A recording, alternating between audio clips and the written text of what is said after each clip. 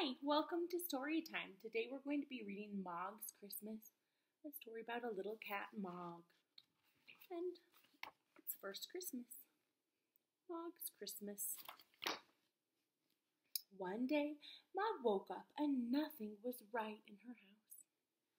Look at her face. I wonder how Mog's feeling.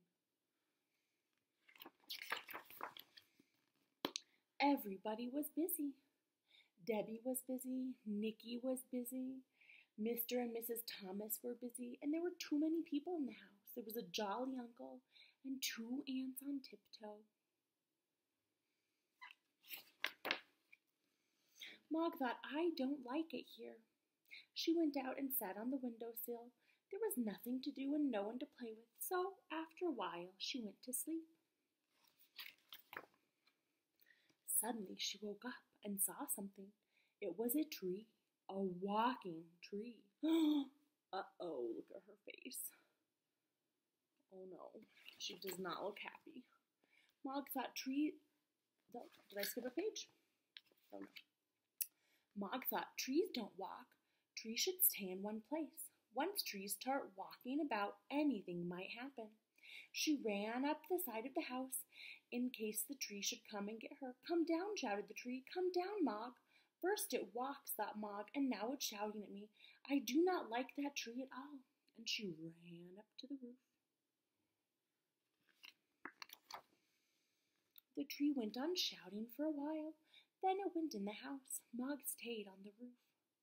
Some white things fell out of the sky. Some fell on the roof and some fell on Mog. They were very cold.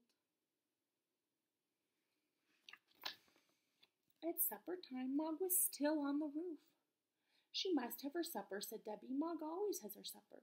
Mrs. Thomas gave Mog her supper, but still Mog did not come down.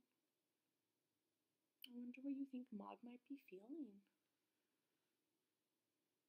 on the roof all by herself. In the morning, Mog did not come down either. She had found a nice tall place and she was asleep and she was having a lovely dream. Mog dreamed that she was sitting on a cloud and some white things were falling out of the sky. Mog tried to catch them. She was very happy, but suddenly the cloud began to melt. Do you notice what Mog is sitting on top of? What do you think that might be on top of the house? It's melting, getting warm. Inside the house, everyone was sad because Mog would not come down either. They were too sad to eat their breakfast. Even the jolly uncle was sad, and one of the aunts cried. Suddenly, there was a noise in the chimney.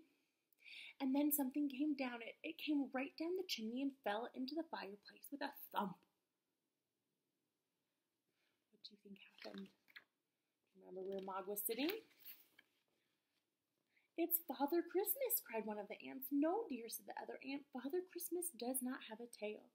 Debbie cried, It's Mog.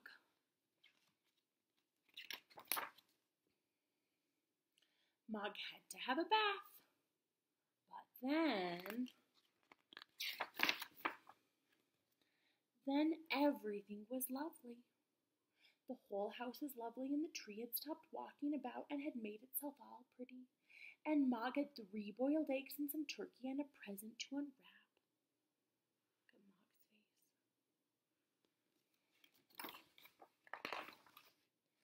Happy Christmas, Mog, said Debbie. She's giving Mog cuddles. And that's the end of our story.